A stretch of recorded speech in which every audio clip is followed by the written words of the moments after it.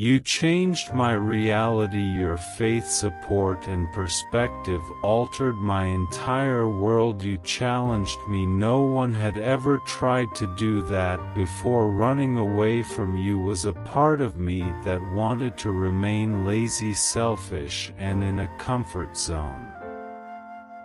I didn't want you to have expectations of me but as I have grown I realize now that I needed to be pushed I needed someone to set me right I was wrong so very wrong but as time has gone on I have thought of you every single day.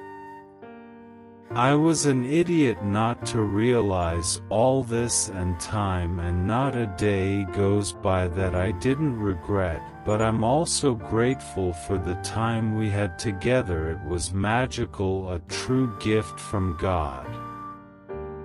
There is something different about us something deeply spiritual the instant connection we share so naturally like our love is crafted in the heaven the universe has a plan for us.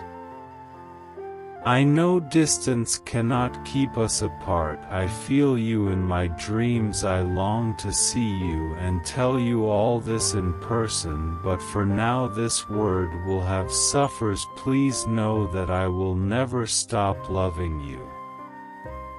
You are the love of my life you are the one I want to share all my secrets with I feel like we should talk one-on-one. I have come to a place of healing that has opened me to love you again.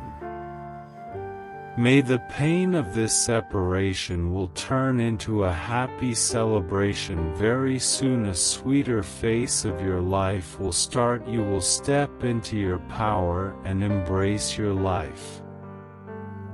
Like the video and type Amen if you believe.